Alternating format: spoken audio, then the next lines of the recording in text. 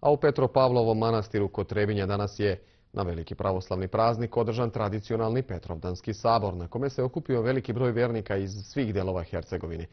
Svetu liturgiju služio je vladika Grigorije, a vernici će večeras tradicionalno posjetiti i obližnju Pavlovu pećinu, u kojoj su prema predanju kršteni prvi hrišćani na ovim prostorima.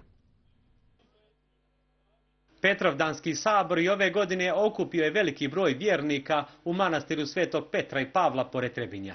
Uz sasluženje sveštenstva i monaštva eparhije, svetu liturgiju služio je vladika Grigorije. Kad god slavimo živoga Boga, tada slavimo čovjeka. Kad god služimo ljudima s ljubavlju, tada služimo i Bogu. Zato je, braćo i sestre, današnji dan, kao što je lijepo govorio otac Dražen, primjer i po primjeru svetih apostola, jer su oni služili i ljudima i Bogu sa istom ljubavlju, a tu ljubav je porađala ljubav Božja, a ljubav prema čovjeku je imnožavala. Pavlov manastir sagrađen je 1906. a prije pet godina na temeljima ranohrišćanske crkve iz petog vijeka obnovljen je manastir Svetog Petra. Tradicionalno na Petrovdan ovdje se okupljaju vjernici iz svih dijelova Hercegovine, a večernja liturgija služi se u obližnjoj Pavlovoj pećini. Pa u ovakvom obimu je počelo od 1998. kada je i u stvari počeo e, kao manastir, a inače crkva je iz 1906.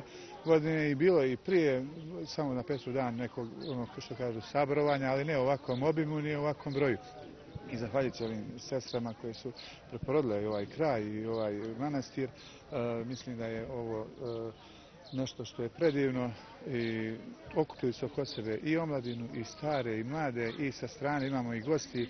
Tako je vidite koji svake godine skupi se možda par hiljada ljudi. Gdje se u popodnevnim satima gdje se obavljaju turge u pećini i onda se pođe pješke negdje oko 4-5 popodne i onda se neki 3-3,5 km pješač ovamo gore u brde, brdima i tamo ima znači, ta pećina Petropavlovska koja je Sada isto napravljeno je e, unutra da se može i ovaj crkveni običaj provesti. Tako isto gore ode sigurno par, možda i hiljadu, hiljadu i pol ljudi izađe pješke.